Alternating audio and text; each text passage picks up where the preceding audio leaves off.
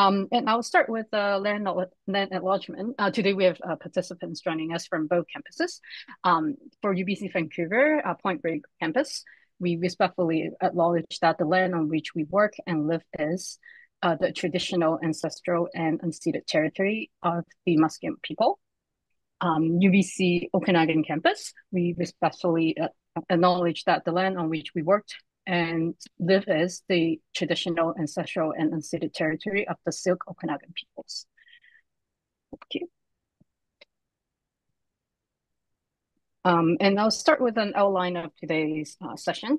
Uh, we'll start with uh, what we expect to achieve in the session, um, um, and I'll get into details, uh, a little bit um, details as to um, what we currently provide in the student experience of instruction reports. Um, and then we'll dive in, dive into the data. Um, and then we'll get into uh, talking more, Abdulazim will talk more about the reported metrics, um, uh, IM interpolated median, PF percent favorable, and dispersion index DI. Um, and continue on, we'll talk about in how to interpret the SEI results. Um, and then we'll move into sort of a live demo of a um, SEI dashboard that we've worked on in the last two years or so. Um, and finally, we'll get to um, the group activity portion of the session. Um, and again, uh, then at which point actually then we will start the reporting and we will get into the QA. Thank you um, and what we expect to achieve today. Um, at the end of this session, uh, we hope you will have a better understanding of the UBC SEI metrics. Um, um, we'll be able to use simple graphics uh, scatter plots um, to explain the relationship between the reported metrics um, and interpret the SEI data within context and in a more meaningful way. And finally, reflect on student comments as they may relate to the numerical res res uh, responses that you receive. Um, and here we are uh, diving into the instructor report. Um, this is a, a screenshot taking out of um, the native report that um, we generate out of the survey system Blue. Um, what you're seeing here is sort of the first portion that you see in the report. Uh, and this part is on the university module items. Um, so the six questions that we asked at UBC. Um, what you see here is uh, histograms as to how students responded to each question. Um, the, uh, basically outlining how many students answer strongly agree to strongly disagree um, in you know graphical format. Um, so that's that. And following that histogram, we also include a uh, data table that has similar information um, you see here on the left, the questions, the six questions um, that were asked. Um, and then on the right-hand side, all numbers. Uh, and from top, uh, the big N, meaning the number expected students. So the number of students enrolled in the course, small n, how many students responded to the survey. Um, and similarly, you have SD strongly disagree, D disagree, and neutral, A agree, SA strongly agree. Um, so the number of students who answer in each of the pods. Um, and then finally, the far three columns, uh, IM interpolated median, PF percent, favor percent favorable, and DI dispersion index. And of course, we'll get into more about the metrics later. Um, one note on this screen while we are here, um, the six questions that are presented on the screen are questions that we started asking since winter of 2021. Uh, prior to that, um, UBC Vancouver has a different set of six questions. Uh, the question texts are different. Um, and for UBC Okanagan, there were um, another set of questions that were asked to uh, for the Okanagan campus. So in 2021, uh, winter of that year, uh, we uh, sub-aligned the questions, the university questions for both campuses, and they're all asking this set of questions uh, for for both campuses. And uh, depending on the faculty, your, your faculty or department may have additional questions that's asked. Um, today's workshop, we primarily focus on the UMI, you know, to present the data to show you how it looks. Um, so that's the background. Um, and and then next step, we are going to get into a little bit more information about the data itself. Um, so SEI data are categorical, uh, but ordinal in nature. Ordinal meaning that you know it has a sense of order. Strongly agree is higher um, or better than agree, higher than neutral, and etc. and etc. Um, and UBC collects SEI data using a balanced Likert rating, uh, Likert type rating scale. Um, the UMI university university module item questions use a balanced five point Likert scale. Um, it goes from strongly agree, uh, strongly disagree to strongly agree. Um, and some faculty questions um, use a balanced seven point Likert scale. So it you know goes from entirely disagree and has more uh, response type in between and then goes to entirely agree, for example. Um, so a little note about balanced Likert rating scales. Um, it have equal number they have an equal number of positive or favorable and negative or unfavorable response categories. Um, uh, in one example, you know, you see on the right hand side, you know, you have like very sad crying smiley face to very happy, strongly agree smiley face, and then with a neutral in, in between uh, being the three. Um, and often, but not necessarily center around neutral. So like uh, the, the, the, the indifferent face. Um, and then, um, but it can have e both even or odd number of responses cat uh, categories. So the second, uh, the green boxes underneath also applies. Um, they are also a balanced like rating scale in that um, you have an equal number of a favorable and unfavorable number of responses. Um, so, and finally, unlike unbalanced scales, the bounds of what is favorable are well defined. So it's, you know, left side and right hand side between the neutral. Um, thank you. Um, and then uh, we'll move into the same metrics. Um, so like i mentioned a couple of times now, um, the, the three metrics that UBC reports are uh, the dispersion index, and you will often see us referencing it as DI, um, percent favorable PF, and interpolated median IM. And from here, I'll turn it over to Abdulaziz. Okay, thank you, Alison. Um, starting with the, the dispersion index, this is actually a, a, measure of the data spread. You can think of it as a measure of variability, similar to what we use in parametric methods, uh, the standard deviation. Um, and this particular measure, there is a number of them in the literature. Uh, this one that we happen to pick, uh, UBC happened to choose, uh, range in value from zero to one. Zero indicate that all respondents replied with the same response uh, an extreme value of one would occur when the respondent is split evenly between uh, the two extremes, uh, strongly agree and strongly disagree on the five-point scale. Uh, in our UBC data, we rarely see the dispersion index exceeding 0.8 or 0.85. And usually that indicates polarized ratings, and we're going to talk about polarizing uh, later on and it's often associated with surveys that did not meet our recommended minimum response rate. Uh, these are our own general guidelines for low, medium, high, and extremely high uh, dispersion. Uh, we'll talk more about this when we get uh, to the uh, to putting the three measures together.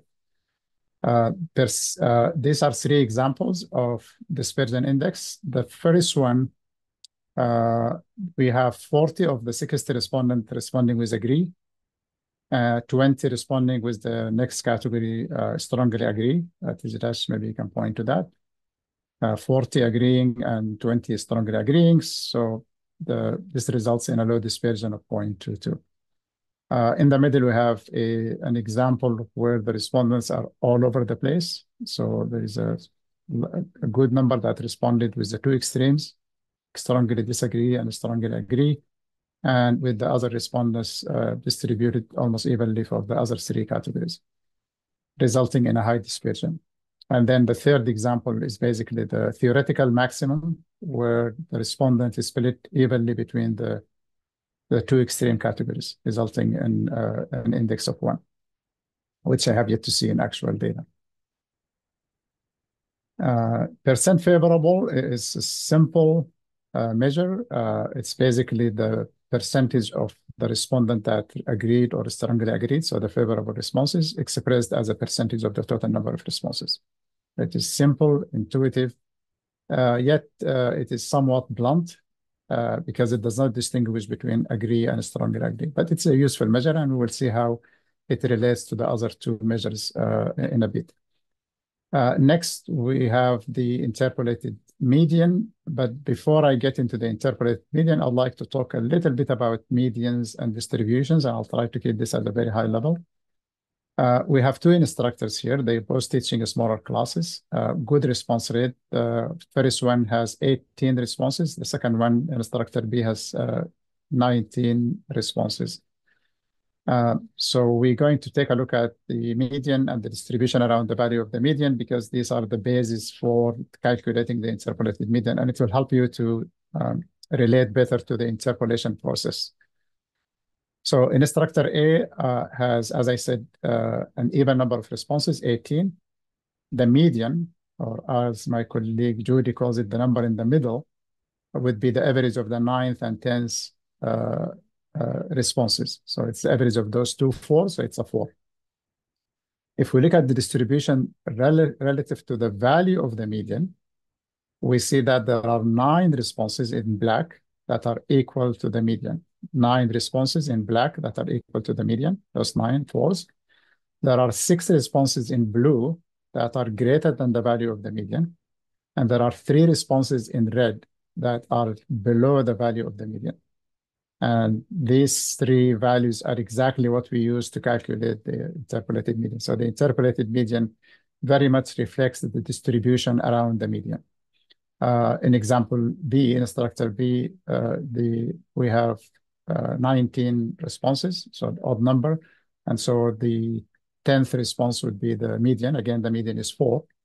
And, and we see distribution, two responses greater than the median in blue, eight below the median in red, and there are also nine responses in black that are equal to the to the median. So we're going to follow those two instructors in the next couple of slides.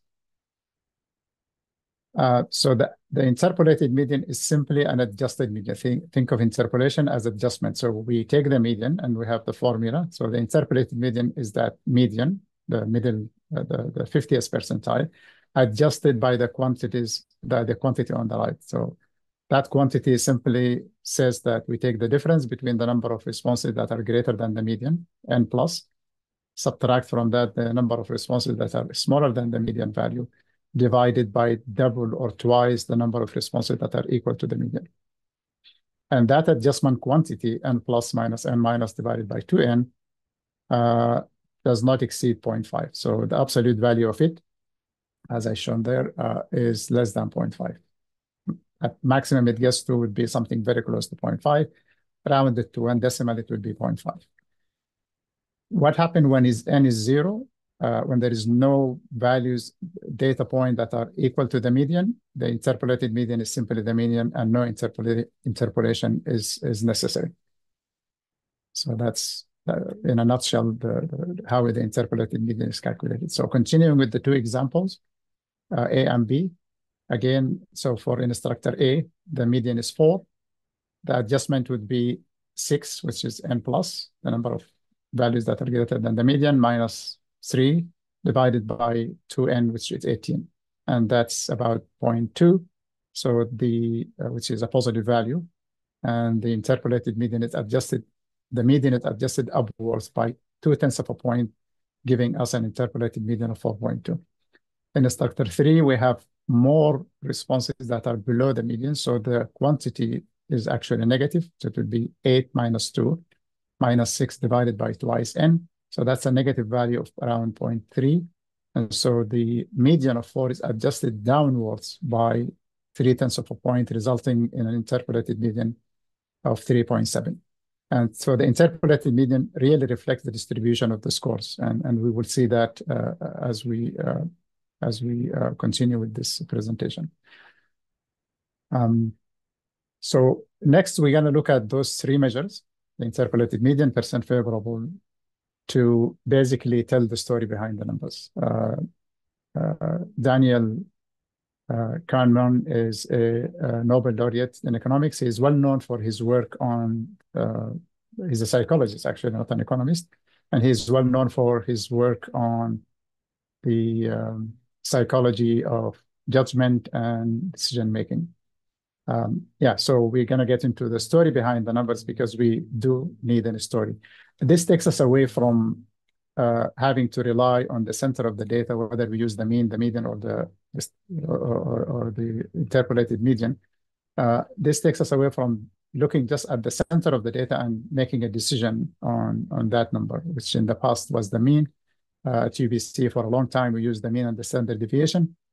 We look at the mean, we compare it to some comparative value, and we decide uh, whether that's acceptable or not, or whatever decision is made. So we're going to move away from that and interrogate the data in a more meaningful uh, way using the three measures that we talked about.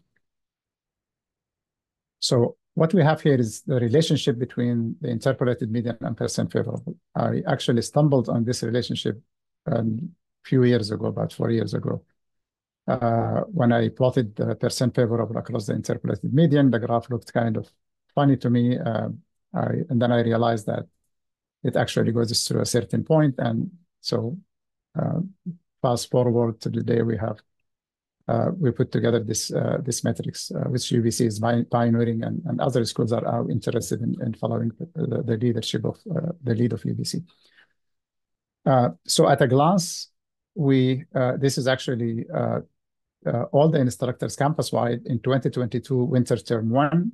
This is UMI question number five, uh, and every point, every dot in this graph represent the intersection of the percent favorable and the interpolated median for that instructor. 96% of the instructors are in this upper right quadrant, and 4% are in the lower quadrant. Um, the upper quadrant uh, represent percent favorable greater than 50% and an interpolated median greater than 3.5. So the points 3.5 and 50% split the data into two uh, into two groups. Those are those instructors with uh, an interpolated median of 3.5 or higher and 50% or higher. And the other category, uh, the other group would be the, those who have interpolated median less than 3.5. Mathematically, there should be no data in the upper left or the bottom right subquadrant. So um, this gives us a, a, a, good break of the uh, uh, of the of, the uh, of the data, and, and, we'll talk more about about this uh, this relationship. And uh, so the relationship actually applies to all balanced uh, Likert type scales.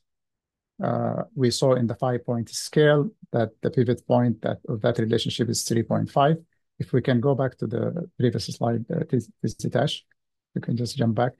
Uh, the pivot point here, uh, 3.5, actually, for a five-point scale, uh, within the concept of interpolation, if we think of a median of four or a response of four from a student, uh, or responses of four, those responses, uh, we can think of them as representing a perspective that uh, range from those bordering on uh, neutral to those leaning towards uh, strongly agree. So three to five. And so uh, we can think of the 4 as the midpoint between uh, 3.5 and 4.5. And in the interpolation process, we can adjust that for up to 4.5 or down to 3.5, depending on the inter depending on the distribution. And so 3.5 is actually the lower bound for a favorable response. So if you go to the seven-point scale, which is the next one, this is from one faculty question that uses a five-point scale. Uh, we see that the uh, pivot point is at 4.5 and 50%. Now, if you think about the seven-point scale, we have three unfavorable, one, two, three. Four would be neutral, and five, six, and seven on that scale would be favorable. So the lowest favorable value is five, which could be interpolated between 4.5 and 5.5. And so again, 4.5 is the lower bound of the favorable response. And so it is a pivot point for the relationship. So this uh, this relationship uh, is applicable to all balanced scales, regardless of the number of uh, points in the scale. And again, there should be no data in the upper left or the bottom right uh, subquadrants.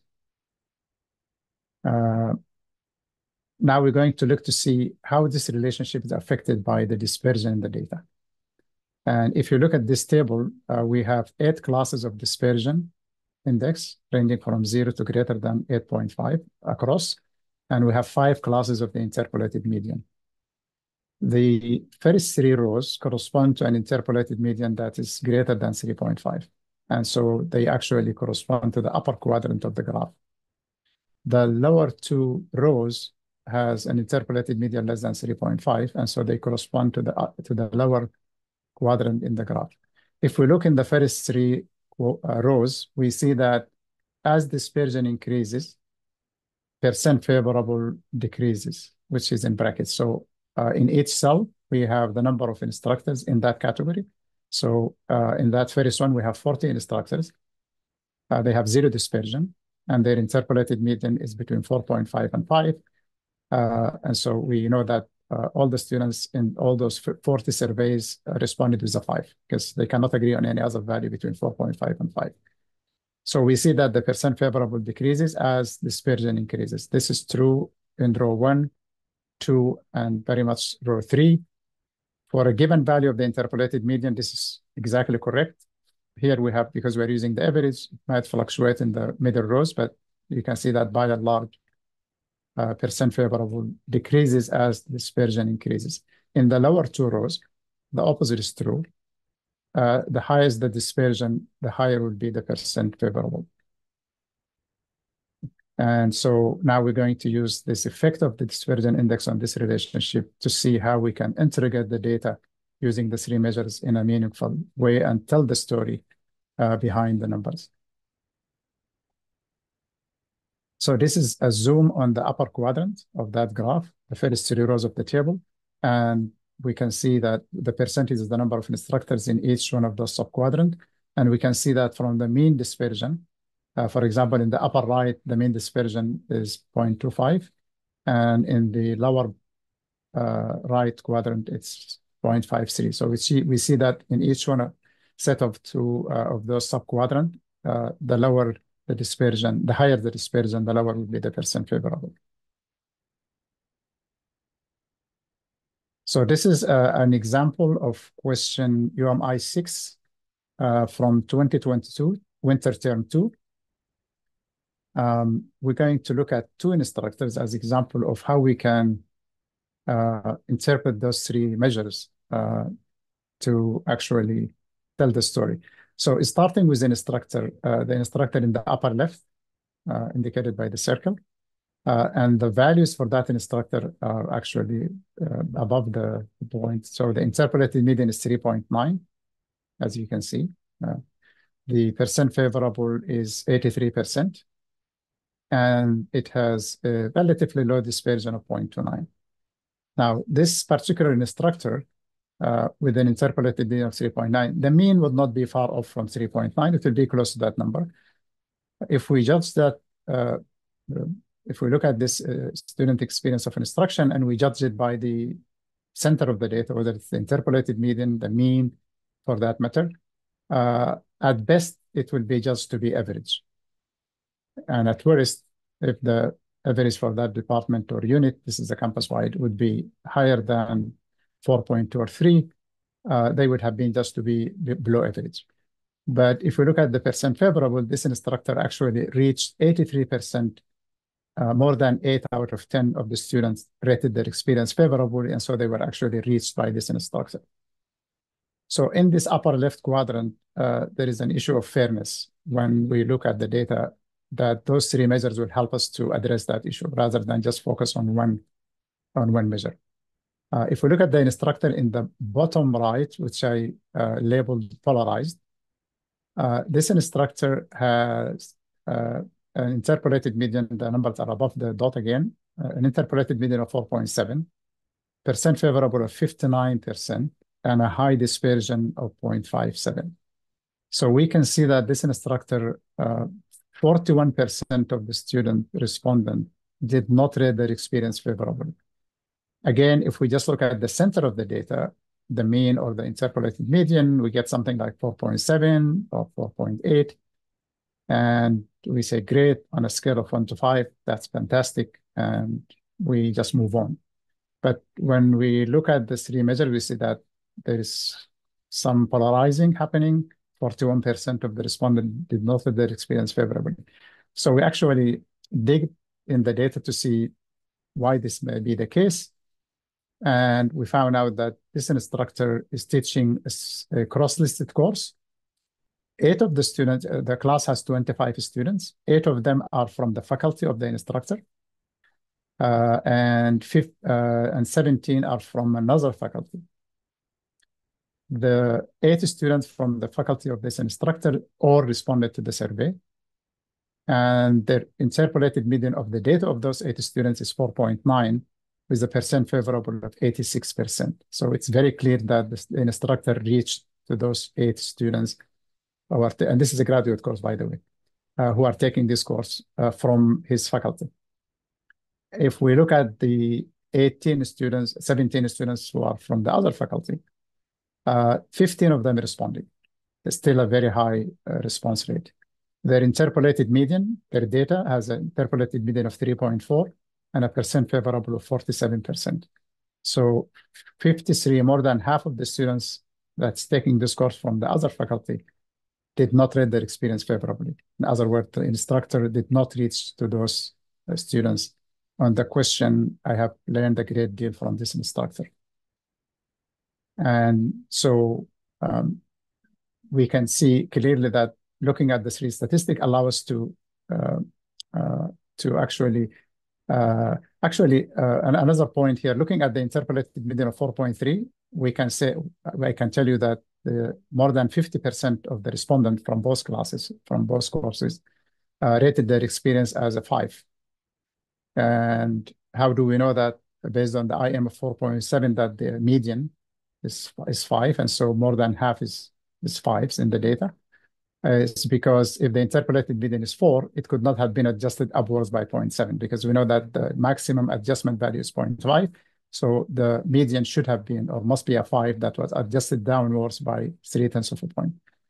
Um, so those two examples are actually uh, good examples uh, to allow us uh, to interrogate the data in a more meaningful way. If we actually fit a regression line across this uh, uh, across the diagonal through this cloud of data, uh, we would have a good fit.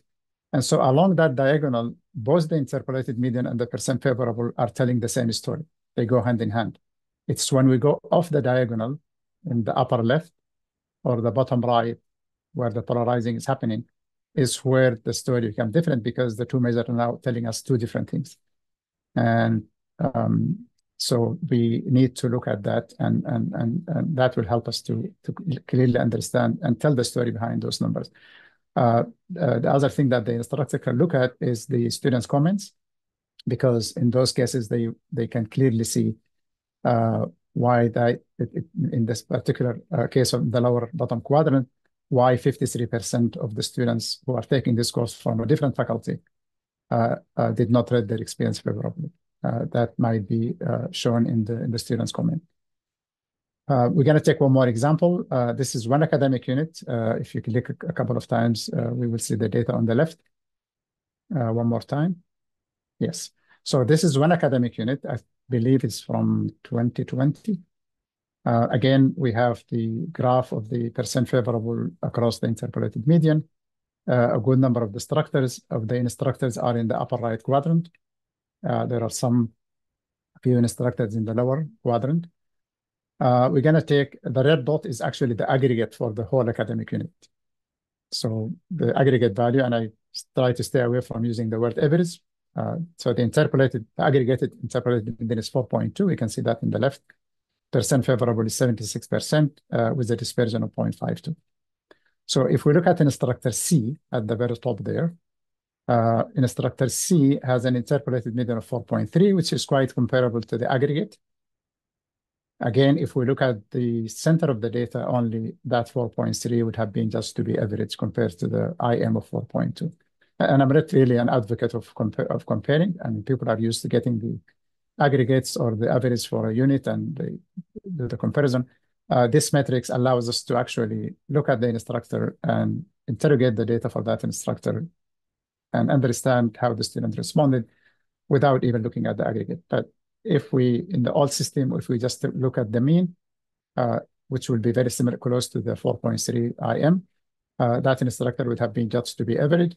But we see that with a low dispersion of 2.24, 100% uh, of the students responded with a favorable response. So they all rated their experience favorably.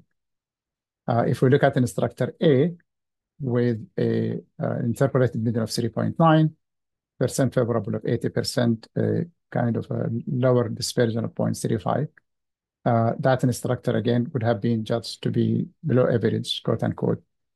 But their percent favorable is actually 4 point percent, 4 percentage point higher than the aggregate for that academic unit. Uh, instructor D and B, if we look at instructor D at the top, uh, they have an interpolated median of 4.5, 100% favorable rating, uh, low dispersion of 0.25. Instructor B down has uh, a similar, uh, slightly higher interpolated median of 4.6, a high dispersion of 0.57, 73% favorable rating, favorable responses, which means that the instructor did not reach out to about 27% of the respondents. Um, and again, just judging by the 4.6, the center of the data, we would have arrived at a different conclusion when we take all three measures into consideration. We see that this instructor, uh, more than uh, one in four student uh, respondent did not read their experience favorably. And perhaps maybe the students' comments could shed light on why that might be the case uh, for this particular uh, question. I believe this is university module item five, which is about uh, instructor showing um, or interest in the student learning throughout the course. So that brings me to, to the end of my uh, part of my presentation. And I'm going to, oh, um, just before I conclude, uh, is going to put that tiny URL in the um, in the chat for those of you who might be interested more, uh, this is our article that we published in uh, last year in 2023, proposing this metrics. We have been using it at UBC for now it's four years, maybe five years, uh, four years, no, five years. Uh, uh, but we only published this last year, but we have been sharing it uh, in conferences and so on. if you are interested, um, you can take a look at the article. it's an open access, so you don't need to be logged from UBC uh, you can uh, access it freely. So it's a free access article uh, for more information about this metrics. I'll turn it over to my colleague TiziTash to take us through the um, dashboards that are currently being developed. Okay, thank you, Abdulazim. And let me change the share. Thank you. So now I'm gonna uh, walk you through to the dashboards that we have been developing uh, since for the last two years. And we have two dashboard, uh, one instructor dashboard and one dashboard for the academic units. And this dashboard is in the development process. And for the last two weeks, uh, we uh, share this dashboard for some users and we get a feedback and we are working on the feedback now, but I will go through uh, first the instructor dashboard. So uh, the first part on the instructor dashboard is some uh, information about the dashboard, what parts we have, how to navigate uh, about the different measures. Uh, and on the instructor dashboard, we have like two visualizations and uh, one data summary. So I will go to the visualization, so one by one. The first visualization we have is a scatter plot. As uh, Alison mentioned earlier uh, at the beginning, uh, we have a scatter plot that shows the instructor's uh, survey result in context with the campus. So on this dashboard, uh, we have like can be accessed by individual instructors uh, for each campus.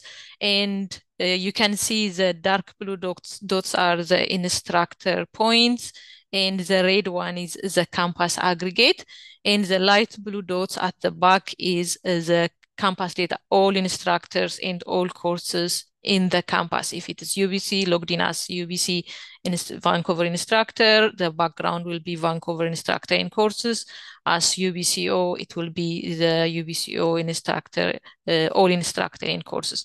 So for each in, uh, dark blue dots, it will show the instructor name, the academic period, which course, whether that course met the required uh, recommended minimum response rate, the interpolated median, percent favorable, and dispersion index. And uh, we displayed all the six UMI questions in uh, one page. And here uh, we can they can also filter like that by the pre and post before the questions are changed and uh, after the questions are changed. So these filters will allow uh, to separate because we are not going to combine those two questions. It can be uh, viewed like in different groups. And uh, we have at the bottom also the courses that are displayed are, uh, displayed here, which courses and the full question description is uh, displayed at the bottom. So just to uh, reiterate here what Abdullah mentioned in the presentation, here we can see these two points. They have the same uh, interpolated median, but as the dispersion index uh, in index increases, the percent favorable uh, decline. You can see here that the dispersion index is 0.66 and the percent favorable is 67%, but for the one uh, above, the dispersion index is 0.48 and the percent favorable is 40, 74%. So this is uh, the scatter plot uh, we have for the instructor dashboard. So this is a campus wide and this is individual instructor and the light blue dots are uh, the background data for all camp for all instructor and courses for that period. Then the second visualization we have is the trend line. And on this trend line, uh, we are trying to show how uh, the interpolated median, the blue line, and the percent favorable change through time. For each period, again, we have the pre and post filter here uh, for each period for a given course.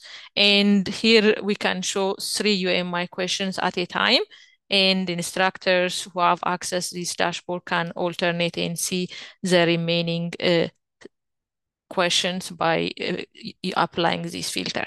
But we will show like one course at a time uh, for each uh, for the period of academic year, like from for this one from 2021 to 2022 uh, for this uh, time period. And the last one we have on the instructor dashboard is the data summary. So whatever uh, shown on the in the scatter plot is displayed in the data summary. We will have the pre-post uh, period, the academic period, the course section, uh, the number of invited, the response rate, whether it met the recommended minimum response rate, and the three measures, interpolated median, percent favorable dispersion index, and the campus-wide comparator. And the instructors can apply the filters at the right to switch between these two periods and uh, the academic sessions.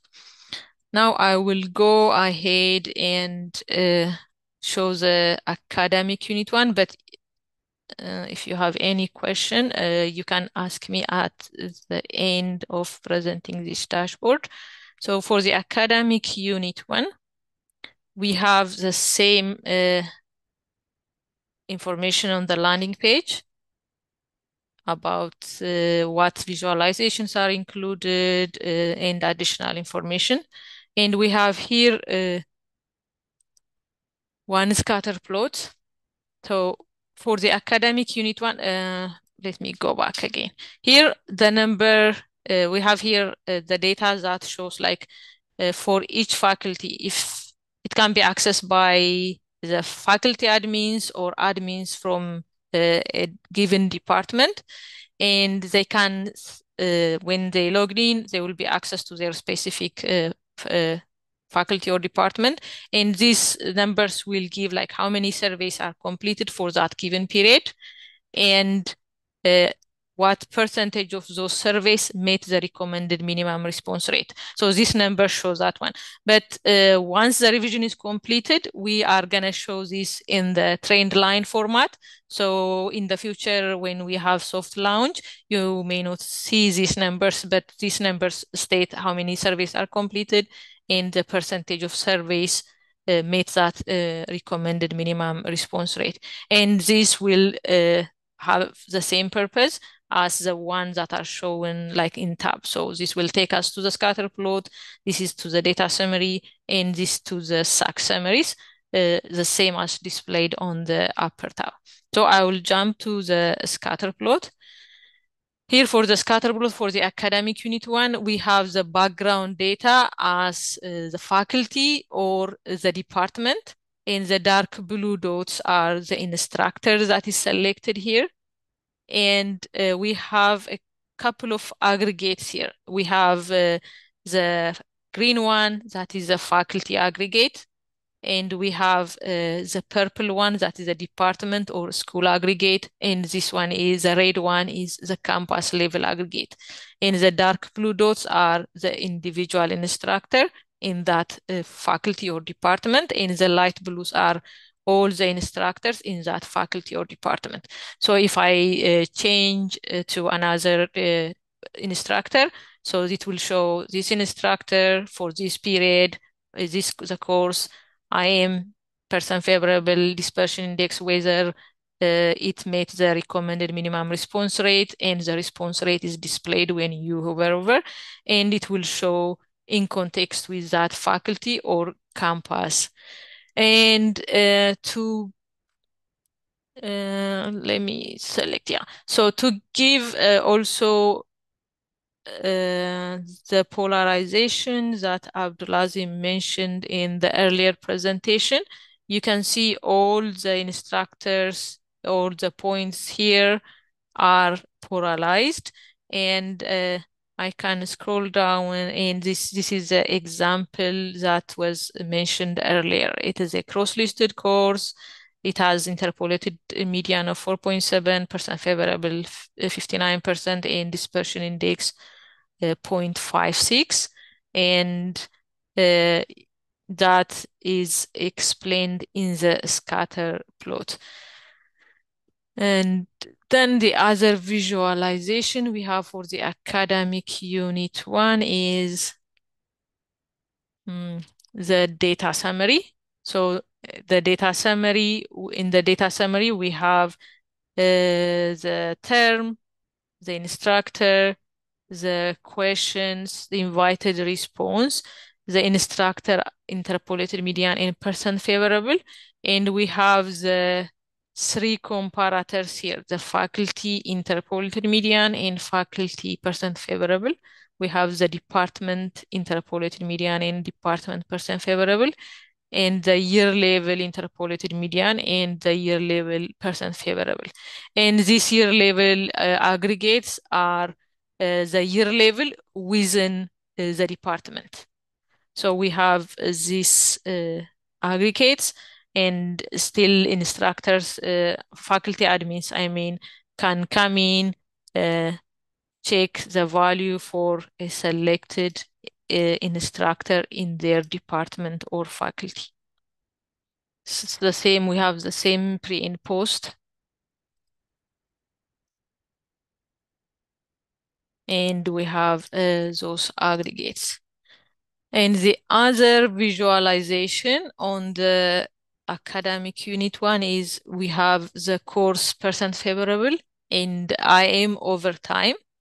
Uh, and on the upper part, we have the instructor interpolated median in percent favorable. This is uh, percent favorable uh, and this is IM.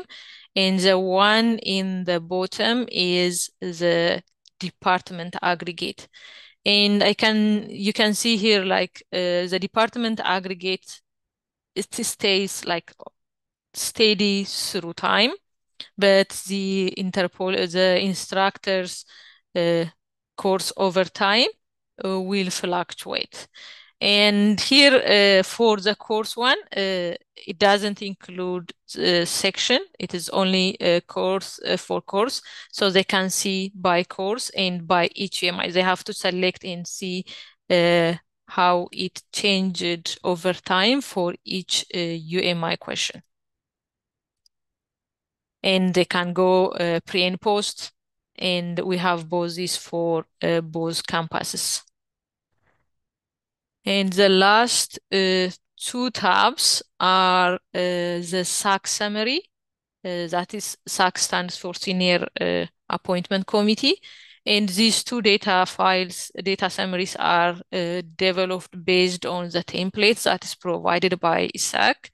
And for the pre-2021, uh, for uh, Okana UBCO, we have question 19.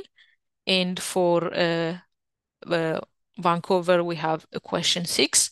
So we will have the term, the course, uh, whether it meets the recommended minimum response rate, and invited response percent favorable interpolated median, and the comparator is the year level uh, interpolated median in percent favorable that is calculated within the department. So for uh, yeah, Vancouver, we have the last question UMI 6, and for Okanagan, uh, question 19.